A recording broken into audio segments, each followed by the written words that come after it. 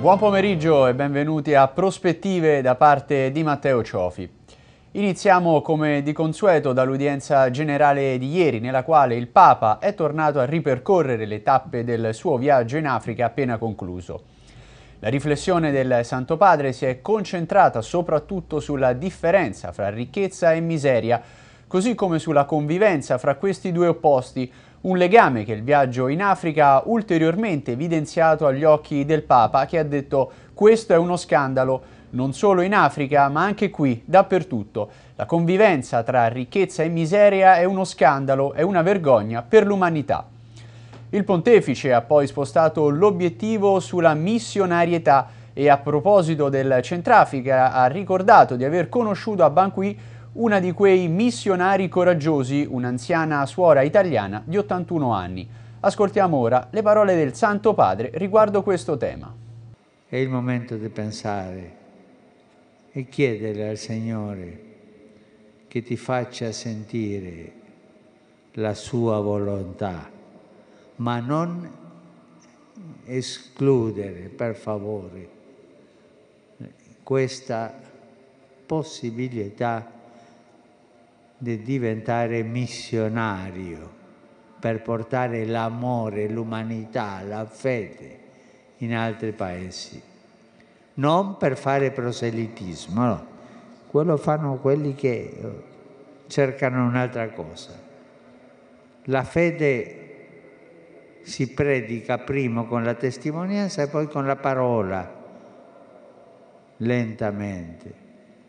Questa mattina nella sala Clementina il Papa ha incontrato i partecipanti alla plenaria della Congregazione dell'Evangelizzazione dei Popoli. Il pontefice ha detto che in un mondo secolarizzato, accogliente verso i valori evangelici di amore e pace, ma che non ritiene Gesù il figlio di Dio, la Chiesa deve uscire ad annunciare il Vangelo a tutti. Non è la Chiesa che fa la missione, ha spiegato il Santo Padre, ma è la missione che fa la Chiesa rinnovandola e rinvigorendone fede, entusiasmo, motivazioni e identità cristiana. La missione dunque trasforma la Chiesa al suo interno e in tal modo lo Spirito Santo trasformerà i fedeli abitudinari in discepoli, i discepoli disaffezionati missionari, tirandoli fuori dalle paure e dalla chiusure e proiettandoli in ogni direzione sino ai confini del mondo. Le parole di Papa Francesco. Vi ringrazio per il vostro lavoro di animazione e cooperazione missionaria, con cui ricordate a tutte le chiese che, se costrette nei propri orizzonti, corrono il pericolo di atrofissarsi e spegnersi. La Chiesa vive e cresce in uscita, prendendo l'iniziativa e facendosi prossimo.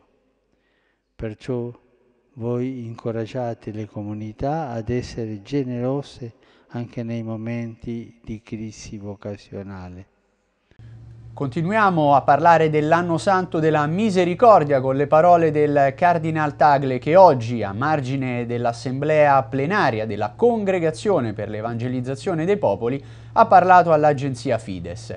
L'arcivescovo di Manila ha ribadito come avere misericordia nell'anno santo significhi per ogni uomo aprire gli occhi e le orecchie per vedere e ascoltare i poveri, ma non è abbastanza, bisogna agire per queste persone e cambiare il proprio stile di vita.